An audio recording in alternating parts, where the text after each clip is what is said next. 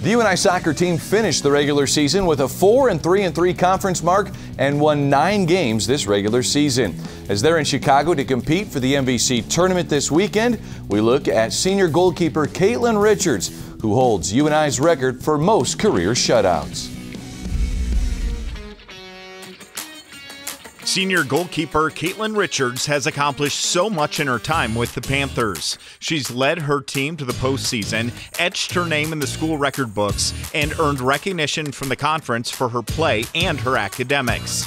She recently passed her current coach to become the program's all time leader in career shutouts. Caitlin is a competitor. She wants to win and she will do what it takes to win. And so having that as your goalkeeper is very big to your team they are the lockdown defense, they are the stability, they are the level head of everybody. So having her over the past five years be able to control our back line, be our first line of attack as well as our last line of defense has been crazy and it's been great. She's been great to work with and it shows through the work she's put in as why she's making these records happen.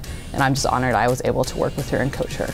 I mean, like Jamie and I joked about it freshman year of like, this is the goal. And like to finally hit it is a huge accomplishment and it means so much to me, but also to have the person that I beat here like pushing me forward and wanting me to do it was like a huge thing and it just made it feel like so much better, but I also felt like she was a part of that process and like wanted it for the both of us. This Elmhurst, Illinois native is glad she chose to come to UNI to pursue her college education.